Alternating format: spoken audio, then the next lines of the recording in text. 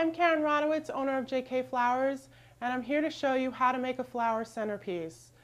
First off, you want to decide how tall you want those centerpieces to be. The easiest way to do that is figuring out where they're going to go. If they're going to be in the center of a table, you don't want them too high because you don't want to interrupt the conversation flow. Once you get your centerpieces figured out how high you want them, you start off with your greenery, which is the basis of any centerpiece. So you place your greenery around.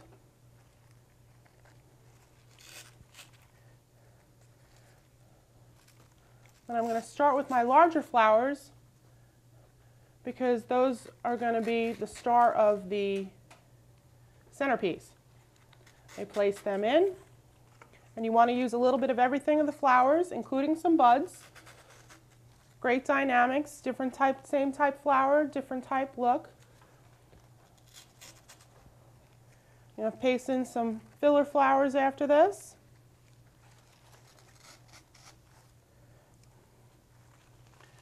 And just keep working the flowers around. Keep filling in as little or as much as you want. Once you get all your flowers in and you're happy with your arrangement, you'll have a centerpiece that you're ready to use for any occasion. I'm Karen Rodowicz, and I hope this was helpful.